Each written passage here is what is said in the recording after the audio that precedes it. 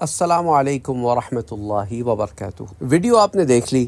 اس video کو لے کے وہابیوں نے ایک طوفان بدتمیزی مچا رکھا ہے اور کہہ رہے ہیں کہ یہ شرک ہے، یہ فلاں ہیں، یہ فلاں ہیں۔ اور مختلف قسم کے الزامات اہل سنت والجماعت پہ لگائے جا رہے ہیں۔ جو ان لوگوں کا ہمیشہ کا وطیرہ ہے، تو مفتی سلمان اظہری پر بھی اسی طرح کے یہ الزام لگا رہے ہیں۔ حالانکہ یہ بات بڑی واضح ہے حدیث مبارکہ کے ذخائر سے یہ بات ثابت ہے کہ ایسا کرنا شرک بالکل بھی نہیں ہے۔ انفارچونیٹلی یہ لوگ حدیث مبارکہ کے ذخائر سے یا تو ناواقف ہیں یا جان بوجھ کے ایسی حرکتیں کرتے ہیں تاکہ ان کا جو ایک موقف ہے وہ کسی نہ کسی طریقے سے بندھا رہے اور لوگوں کے سامنے رہے اور یہی ہمیشہ ظاہر ہوتا رہے کہ ہاں یہ بڑے حدیث کے اور قرآن کے اور سنت کے پابند لوگ ہیں۔ اچھا اچھا میں آپ کے سامنے احادیث مبارکہ کے ذخائر بھی رکھوں گا اور ساتھ ساتھ میں آپ کو یہ بھی بتاتا چلوں کہ اگر آپ دیوبند کے علماء کے پاس بھی چلے جائیں نا، تو وہ بھی یہی کہتے ہیں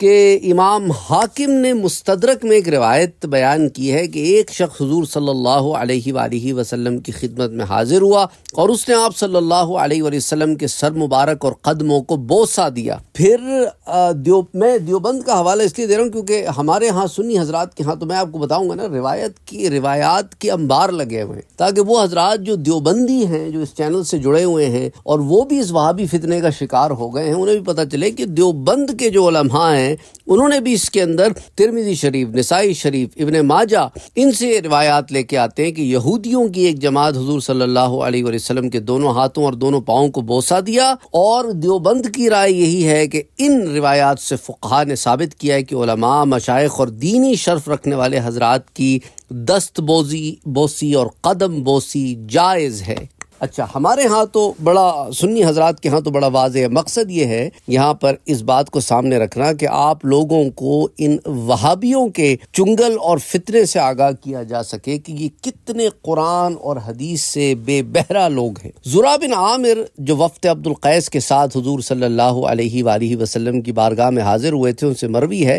کہ لما قدمنا المدینہ فجعلنا نتبادر من رواحلنا۔ کہ جب ہم مدینہ حاضر ہوئے تو اپنی سواریوں سے کود کر حضور صلی اللہ علیہ وآلہ وسلم کے ہم نے دست اقدس اور پاؤں مبارک کو چومنے لگے۔ فتقبل فتقبلو ید رسول اللہ صلی اللہ علیہ وسلم ورجلہ اور اس حدیث کو سیاہ ستہ میں سے سنن نبی داؤد، کتاب الادب حدیث 5225 اس میں روایت کیا گیا۔ امام بحقی سنن کبرہ میں روایت کرتے امام تبرانی سے معجم الکبیر میں اور معجم الاوسط، دونوں میں روایت کرتے ہیں۔ معجم الکبیر میں حدیث 5313 اور اور معجم الاوسط میں حدیث نمبر 418 کے تحت روایت کرتے ہیں۔ امام بخاری، اب اب آپ کہیں کہ اگر تو یہ شرک ہے، تو پھر ایسی روایتوں کو جمع کرنے کا پھر الزام امام بخاری پر بھی جاتا ہے اور سیاہ ستہ کے محدثین پر بھی جاتا ہے۔ تو آپ کے کیا خیال ہے؟ امام بخاری نے الادب المفرد میں باپ قائم کیا ہے تقبیل الرجل، پاؤں کو بوسا دینے کا بیان۔ اور اس باپ کے اندر صفحہ نمبر 339 پر حدیث نمبر 975 کے تحت انہوں نے واضح ہاں، یہ ابن عامر کی اس روایت کو روایت کیا ہے کہ قدمنا ہم آئے، وہ رسول صلی اللہ علیہ وآلہ وسلم کے پاس جب آئے، حاضر ہوئے، تو ہم حضور کے مبارک ہاتھوں اور قدموں سے لپٹ گئے اور انہیں بوسا دینے لگے۔ یہ روایت کے الفاظ، فَأَخَذْنَا بِيَدَيْهِ وَرِجْلَيْهِ نُقَبِّلُهَا۔ یہ الفاظ خاص مفہوم کے حامل ہیں۔ اور راوی کہتے ہیں کہ ہم نے صرف ہاتھ مبارک پکڑنے پر ہی اکتفا نہ کیا، بلکہ ہاتھوں کے علاوہ پاؤں مبارک کو بھی بوسا دینے کا عمل جاری رکھا۔ در حال کہ ہم نے حضور صلی اللہ علیہ وسلم کے ہاتھ اور پاؤں مبارک پکڑ رکھے تھے سے پکڑنے پہ اکتفا نہ کیا۔ امام ترمیزی نے اس مضمون پر ایک حدیث حضرت صفوان بن عصال عصال رضی اللہ تعالی عنہ سے روایت کی اور فرماتے ہیں کہ قوم یہود کے بعض افراد حضور صلی اللہ علیہ وسلم کی خدمت میں حاضر ہوئے اور سوال کرنے کے بعد اعلانیہ گواہی دی کہ آپ اللہ کے سچے رسول ہیں۔ فتقبلوا یدیہ ورجلیہ وقالوا نشہد انکا نبی۔ انہوں نے آپ کے ہاتھ اور پاؤں مبارک کو بوسا دیا اور کہا، ہم گواہی دیتے ہیں کہ بے شک آپ اللہ کے نبی ہیں صلی اللہ علیہ وآلہ وسلم۔ اس حدیث کو امام نسائی نے سنن میں روایت کی ہے، کتاب تحریم الدم میں، حدیث 4078 امام ابن ماجہ نے سنن میں کتاب الادب، باب الرجل یقبل ید الرجل، حدیث 3705 امام ترمیزی نے اس حدیث کو الجامع میں دو جگہ روایت کی ہے۔ پہلی بار ابواب الاستعدان والاداب میں، باب فی قبلت الید ورجل اور اس میں پھر حدیث 2733 اور پھر باب تفسیر میں بنی، سورہ بنی اسرائیل کے ضمن میں حدیث 3144 تو آپ ساستہ کے ان تمام محدثین کو پھر کیا کہو گے وابیوں تو ثابت تو یہی ہوتا ہے کہ غلط تم ہو جو اس عمل کے اوپر تنقید کرتے ہو، کیونکہ تمہارے تو ابن عبد الوہاب نجدی کا بھی یہی عمل رہا ہے کہ سنی حضرات اہل سنت والجماعت میں تفرق اور دراڑ اور فتنہ ڈالنے والا آدمی تھا، اور اسی کو تم نے شیخ الحدیث اور پتہ نہیں کیا کیا بنایا ہوا ہے۔ اور اس سے پہلے ابن تیمیہ کا بھی یہی حال تھا کہ وہ تمام چیزیں جو مسلم طریقے سے اہل سنت والجماعت میں رائج تھیں وہ ان کا مخالف۔ تو یہی بات ہے کہ کوئی نئی کوئی نیا آئے نا، تو اس نے اپنی کریڈبلٹی اپنے آپ کو مارکیٹ کے اندر اسٹیبلش کرنے کے لیے جو شور کرنا ہوتا ہے، تو وہ جو سارا کچھ اسٹیبلش ہو چکا ہوتا ہے، اس کے خلاف بات کرنا شروع کر دیتا ہے۔ یہی طرز عمل انجینئر محمد علی مرزا کا بھی ہے، وہ بھی انہی کی ایک شاخ ہے، کیونکہ انہی سے استفادہ حاصل کر کے آگے بڑھا ہے وہ۔ زبیر علی زئی ٹائپ لوگ جو ہیں وہ یہ وہاں بھی ہیں سارے۔ تو جب انہی سے استفادہ حاصل کیا ہے تو انہی کی حکمت عملی کے اوپر کام کر رہا ہے۔ گو کہ ان سے اختلاف رکھتا ہے لیکن واردات کا طریقہ کار وہی ہے۔ امام احمد ابن حنبل نے سے المستدرک، المسند میں روایت کیا ہے۔ امام حاکم نے سے المستدرک میں روایت کیا ہے۔ امام طیلاسی نے سے المسند میں روایت کیا حدیث 1164 امام مقدسی نے سے الحدیث المختارہ میں روایت کیا حدیث 18 اتنے اجل محدثین کے اس حدیث کو روایت کرنے اور استشہاد، شہادت کرنے کے باوجود بھی کوئی متعصب یہ کہہ سکتا ہے کہ ایک یہودی کا فعل تھا، ہم اسے کس طرح لازمی شہادت کا درجہ دے سکتے ہیں؟ تو دیکھو، انہوں نے ایمان لانے کے بعد یہ عمل کیا ہے۔ انہوں نے حضور کی خدمت میں حاضر ہوئے اور سوال کرنے کے بعد اعلانیہ گواہی دی کہ آپ اللہ کے سچے رسول ہیں۔ اس کے بعد ان کا یہ عمل جو ہے اس میں ہے، حضور چاہتے تو منع کر دیتے۔ یہ بس کرو، یہ اسلام میں جائز نہیں ہے۔ اور ایسی سوچ رکھنے والوں پر سوائے افسوس کی کیا کہا جا سکتا ہے کہ معترض کا کوئی یہودی کا عمل تو نظر آ گیا، مگر جس کے ساتھ کیا جا رہا ہے وہ بابرکت ہستی نظر نہیں آئی کہ حضور منع فرما دیتے۔ حدیث یہیں رک گئی۔ عجیب بات ہے نا۔ اچھا ان کے اپنے گھر میں ابن تیمیہ ہے نا، ان کے بڑا شیخ الاسلام مانتے ہیں۔ ابن ال ابن تیمیہ کے جو شاگرد ہے نا، حافظ ابن کثیر، سورہ المائدہ کی آیا نمبر ایک سو ایک کی تفسیر میں ایک واقع واقعہ بیان کرتے ہوئے لکھتے ہیں کہ ایک بار حضور اکرم صلی اللہ علیہ وآلہ وسلم کسی بات پر خفا خفا ہو کر جلال میں آ گئے تو فقام الیہ عمر ابن الخطاب رضی اللہ عنہ، تو حضرت عمر رضی اللہ تعالی عنہ کھڑے ہوئے اور انہوں نے آپ صلی اللہ علیہ وآلہ وسلم کے قدم مبارک چوم کر عرض کیا، فتقبل رجلہ وقال یا رسول اللہ صلی اللہ علیہ وسلم ردیما رضينا بالله ربا وبك نبيا وبالاسلام دينا وبالقرآن اماما تو کیا کہا کہ یا رسول اللہ، ہم اللہ کے رب ہونے اور آپ کے نبی ہونے اور اسلام کے دین ہونے اور قرآن کے امام و رہنما ہونے پہ راضی ہیں، ہمیں معاف فرما دیجیے فعف عنا عف اللہ عنکا، فلم یزل به حتی رضیا۔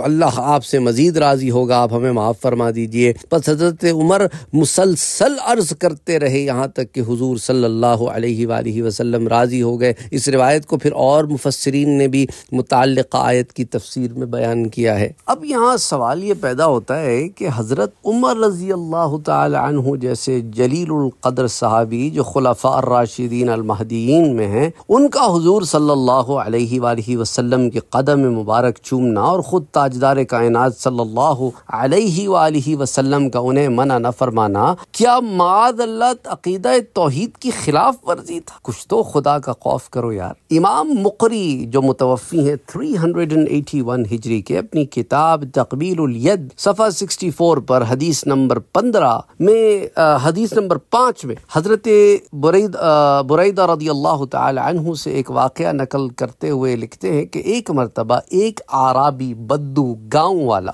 بارگاہ رسالت ماب صلی اللہ علیہ وآلہ وسلم میں حاضر ہوا اور اس نے آ کر عرض کیا کہ میں نے اسلام قبول کر لیا، لیکن میں کچھ مزید جاننا چاہتا ہوں تاکہ میرے یقین میں اضافہ ہو جائے۔ پھر نبی اکرم صلی اللہ علیہ وآلہ وسلم نے اجازت دی تو عرابی کے بلاوے پر ایک درخت اس کے پاس آیا اور اس نے کہا، یا رسول اللہ، آپ پر سلام ہو۔ اس کے بعد طویل روایت ہے اور آخر میں عرابی نے تمام نشانیاں دیکھنے کے بعد عرض کیا رسول اللہ صلی اللہ علیہ وآلہ وسلم مجھے اجازت دیجیے عذرلی ان اقبل رأسک ورجلک کہ میں آپ کا سر مبارک اور قدم مبارک چوم لوں۔ اس کے بعد روایت میں ہے کہ حضور صلی اللہ علیہ وآلہ وسلم نے اس عرابی کو اجازت، مرحمت فرمائی اور پھر اس عرابی نے سجدہ کرنے کی اجازت مانگی، تو حضور نے اجازت نہیں دی صلی اللہ علیہ وآلہ وسلم۔ تو یہاں پر دونوں چیزیں جمع ہو گئیں۔ اس نے دو چیزوں کا اظہار کیا، ایک کی اجازت دے دی، ایک کی اجازت نہیں نہیں دی۔ اگر پہلا عمل بھی خلاف شریعت ہوتا تو اس کی بھی اجازت نامرحمت فرماتے۔ امام مقری کی روایت کردہ اس حدیث کو حافظ ابن حجر اسقلانی رحمۃ اللہ علیہ نے بخاری شریف کی شرح فتح الباری کی جلد گیارہ صفحہ ففٹی سیون پر نقل کیا ہے۔ اچھا یہ ہمارے ہاں یہ اہل حدیث حضرات علامہ مبارک پوری کو بہت مانتے ہیں۔ تو علامہ مبارک پوری نے تحفت الاحوزی کی جلد نمبر سات صفحہ فور تھرٹی سیون میں اس روایت کو نقل کیا ہے۔ اچھا یہ روایت بڑی وضاحت کے ساتھ بیان کر رہی ہے کہ پیارے نبی صلی اللہ علیہ وآلہ وسلم نے قدم چومنے کی اجازت تو دے دی، لیکن سجدہ کرنے کی اجازت نہیں دی۔ اگر قدم چومنا اور سجدہ کرنا برابر ہوتا تو نبی اکرم صلی اللہ علیہ وآلہ وسلم کبھی ان کے مابین فرق نہ فرماتے اور دونوں سے منع فرما دیتے۔ یہاں تک آقائے نامدار محمد مصطفیٰ صلی اللہ علیہ وآلہ وسلم کے پاؤں مبارک چومے جانے جانے پر چند احادیث کا حوالہ میں نے آپ سے پیش کیا، جس سے ثابت ہو گیا کہ قدم بوزی ہرگز کوئی شرکی عمل نہیں ہے۔ اگر ایسا ہوتا تو پیارے نبی صلی اللہ علیہ وآلہ وسلم اس کی اجازت نہیں دیتے۔ کیا حضور صلی اللہ علیہ وآلہ وسلم کا انہیں اس عمل سے نہ روکنا اور خاموشی فرمانا حضور کی طرف سے اجازت نہ تھی؟ کیا صحابہ کا یہ عمل سنت تقریری نہ ٹھہرا؟ اگر پاؤں چومنا نعوذ باللہ سجدہ ہے تو کیا صحابہ حضور کو سجدہ کر رہے تھے۔ معاذ اللہ حضور جو توحید کا پیغام عام کرنے اور شرک کے خاتمے کے لیے مبعوث ہوئے خود شرک کے عمل کی اجازت دے رہے تھے۔ معاذ اللہ استغفر اللہ العظیم۔ کاش قدم بوسی پر اعتراض کرنے والے کچھ مطالعہ ہی کر لیتے۔ کسی کے ذہن میں سوال پیدا ہو سکتا ہے کہ قدم بوسی صرف حضور صلی اللہ علیہ وسلم کے لیے مخصوص ہے۔ لہٰذا اس امر کی بھی کبھی ذرا جائزہ لے لیتے ہیں کہ کیا غیر انبیاء یعنی انبیاء سے علاوہ صالحین اور مشائق اور اکابر کی دست بوسی اور قدم بوسی کی کیا حقیقت ہے۔ تو یہ حقیقت ہے کہ علماء کرام اور مشائق کی حضور صلی اللہ علیہ وسلم اور آپ صلی اللہ علیہ وسلم کے دین کی خدمت کی نسبت سے تعظیم و احترام بجا لانا منشا اسلام ہے۔ ان کی تعظیم کو شرک کہنا باطل ہے اور ان سے بغض رکھنا نفاق کی علامت ہے۔ تو وہ تمام لوگ جو علماء سے بغض رکھتے ہیں اور اس بغض کو عام کرنے کی کوشش کرتے ہیں، وہ ان کے دلوں کے نفاق کی علامت علامت ہے۔ کتب سیر و حدیث کا مطالعہ کرنے والے ہر شخص یہ بات جانتا ہے کہ اکابرین کی قدم بوسی ہمیشہ اہل محبت و ادب کا معمول رہا ہے۔ اسی سلسلے میں آپ کے سامنے چند ریفرنسز پیش کرتے چلیں۔ حضرت سہیب رضی اللہ تعالیٰ عنہ، حضرت عباس رضی اللہ تعالیٰ عنہ کے غلام تھے۔ وہ بیان کرتے ہیں کہ رعی تو علی میں نے مولا علی رضی اللہ تعالی عنہ کو دیکھا کہ یقبل ید العباس، کہ وہ اپنے چچا حضرت عباس رضی اللہ تعالی عنہ کے ہاتھوں کو چومتے، وہ رجلئی ہی اور پاؤں کو چومتے میں نے دیکھا ہے۔ اور آپ ساتھ ساتھ یہ کہتے جاتے تھے وہ یقول یا امی ارض یا امی ارض عنی کہ چچا، مجھ سے راضی ہو جائیں۔ اس روایت کو بھی امام بخاری نے روایت کیا ہے کتاب الادب المفرد میں۔ تو امام بخاری پر پھر کیا فتویٰ لگاؤ گے؟ حدیث 976 امام زہابی نے سیر علام النبلا میں سے روایت کیا جلد دو صفحہ 94 پر۔ امام امام مزی نے تہذیب الکمال میں حدیث 2905 امام مقری نے تقبیل الید کے میں پیج 76 نمبر 15 میں سے روایت کیا ہے۔ تو اس میں بڑی واضح طور پر آپ کو یہ دلیل مل جاتی ہے کہ صحابہ کا آپس میں بھی عزت و تکریم کا معاملہ سامنے آتا ہے۔ اور امام بخاری نے اپنی کتاب الادب المفرد میں ہاتھ چومنے پر ایک پورا باب قائم کیا۔ اور امام بخاری نے باب تقویل الید میں ہاتھ چومنے کے حوالے حوالے سے تین احادیث روایت کی ہیں۔ تو صاف ظاہر ہے کہ اس سے مراد یہی ہے کہ صحابہ اور حضور صلی اللہ علیہ وآلہ وسلم کا یہ معاملہ جو ہے بڑا اوپن ہے کہ صحابہ حضور صلی اللہ علیہ وسلم کے دست مبارک کو چوما کرتے تھے اور جس طرح صحابہ حضور صلی اللہ علیہ وسلم کے ہاتھ مبارک چومتے تو اسی طرح تابعین صحابہ کے ہاتھ چومتے۔ ان حدیث کو ذکر کر کے امام بخاری آداب زندگی بتا رہے ہیں کہ بزرگوں کی سنت یہ تھی کہ شیوخ اور اکابر کا ہاتھ چوما کرتے تھے۔ یہاں تک کہ امام بخاری نے دین میں اس کی اہمیت کو سمجھتے ہوئے اس کا باب الگ قائم کیا ہے۔ اور صرف یہ نہیں، امام بخاری اس باب کے فوراً بعد پاؤں چومنے کا باب باب و تقبیل رجل بھی لاتے ہیں۔ اور ظاہر ہے کہ امام بخاری نے کتاب الادب میں نبواب کو ترتیب دے کر یہ واضح کیا ہے کہ امام بخاری کے نزدیک ہاتھ چومنا اور پاؤں چومنا ادب میں داخل ہے۔ نہ کہ اسے تم نے شرک بنا دیا ہے، بدعت بنا دیا ہے اور پتہ نہیں کیا کیا بنا دیا ہے۔ اگر یہ عمل شرک ہوتا تو امام بخاری سے مسلمانوں کے ادب میں داخل نہ فرماتے کچھ تو خدا کا خوف کرو۔ کیا اتنا علم حدیث ہے تمہارا؟ بس نام کے اپنے آپ کو اہل حدیث کہتے ہو، حدیث سے کوئی تم لوگوں کا لینا دینا نہیں معلوم ہوتا۔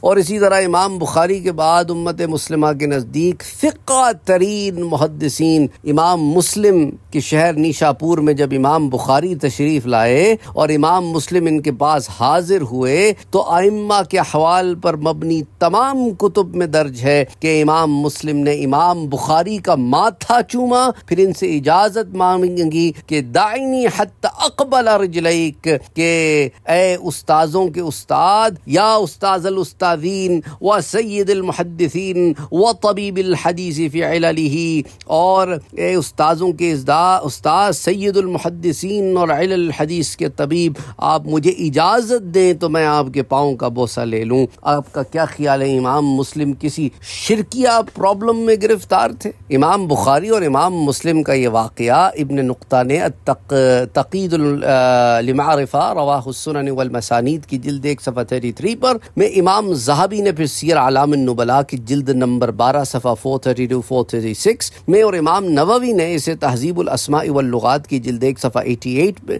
اور حافظ ابن حجر اسقلانی نے مقدمہ فتح الباری کی صفحہ 488 میں اور بر صغیر کے نامور غیر مقل مقلد ہاں، ان کے اپنے گھر کی کتابیں دکھا رہا ہوں انہیں کہ نامور غیر مقلد نواب صدیق حسن نے الحطۃ فی ذکر الصحاء الستہ کے پیج 39 میں سے روایت کیا ہے۔ اور علامہ شروانی شافعی لکھتے ہیں کہ یہ بات پایا تحقیق کو پہنچ چکی ہے۔ قد تقرروا پایا تحقیق کو پہنچ چکی ہے کہ سالے شخص کے ہاتھ اور پاؤں چومنا مسنون عمل ہے۔ اب اتنی واضح باتوں کے باوجود بھی اگر کوئی یہ ضد کرے کہ میں نہ مانوں، تو ایسے میں نہ مانوں کا حل کوئی نہیں، سوائے اس کے کہ ایسے ضدیوں کو ان کی ضد میں چھوڑ دیا جائے اور علم کے متلاشیوں کو بتایا جائے کہ یہ ضدی حق پر نہیں بلکہ باطل پر ہیں اور حق وہ ہے جو آپ کے سامنے حادیث مبارکہ،